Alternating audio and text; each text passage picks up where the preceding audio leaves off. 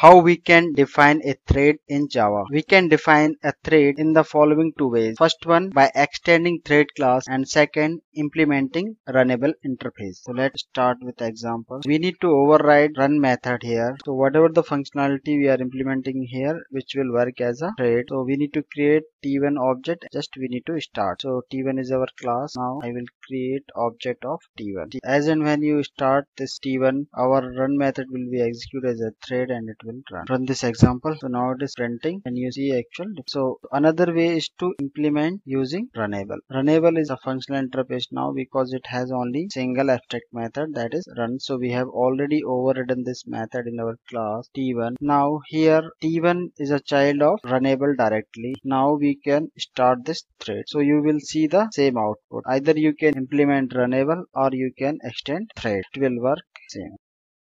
Thank you so much for watching.